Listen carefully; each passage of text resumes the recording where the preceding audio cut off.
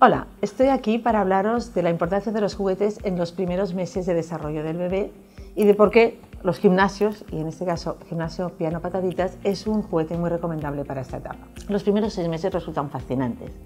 Nuestro bebé tiene todos sus sentidos, que es por los, que, por los cuales aprende a plena disposición. Eh, sus manos, sus pies, su boca, toda su piel eh, todo su cuerpo, podríamos decir, es un centro de información y de comunicación eh, con el mundo que le rodea. Eh, a nosotros nos resulta fascinante de ver en una, etapa tan cortita, seis meses, los cambios que llega, que llega a, a suceder. ¿no? Eh, de ser un bebé que lo necesita todo hacia nosotros. Eh, vemos sus primeras sonrisas, sus barboceos, cómo empieza a levantar su cabecita como si fuera una tortuga. Todo eso pasa en muy poco tiempo. De hecho, es la etapa del ser humano en donde hay cambios y progresión eh, más importante de toda nuestra etapa de, maduración a lo largo de todos los años de nuestra vida. Es un gran desgaste para los niños, para el bebé en este caso, todo ese desarrollo físico, emocional, eh, cognitivo que se desarrolla. Para nosotros es un momento privilegiado, debería disfrutarlo, porque realmente los cambios son espectaculares. Eh, em, veremos cómo empieza a querer agarrar los objetos ¿no? y con su, con su manita todavía torpe es capaz de agarrarlos y rápidamente se los va a llevar a la boca. ¿Y a la boca por qué? Se los va a llevar a la boca porque es el mayor centro de información que tiene un bebé. Su vista todavía es inmadura, eh, no, distingue claramente. En cambio, la boca le proporciona toda la información que, que necesita eh, para, para, su desarrollo.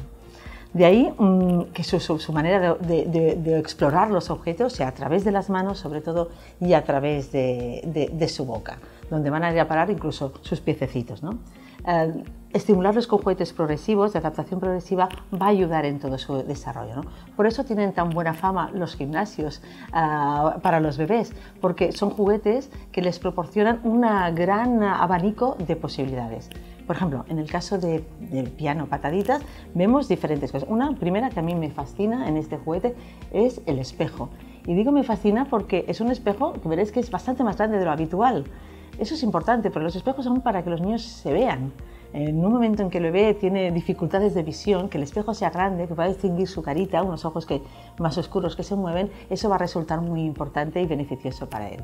Pero tiene más aspectos, no solamente el espejo, todos aquellos aspectos, todos aquellos juguetes en los que puede agarrar, los sonidos, el tacto, que se los puede llevar a la boca, que puede tirar fuerte de él, cuando todavía su madurez de que tire con fuerza. Todo eso está previsto.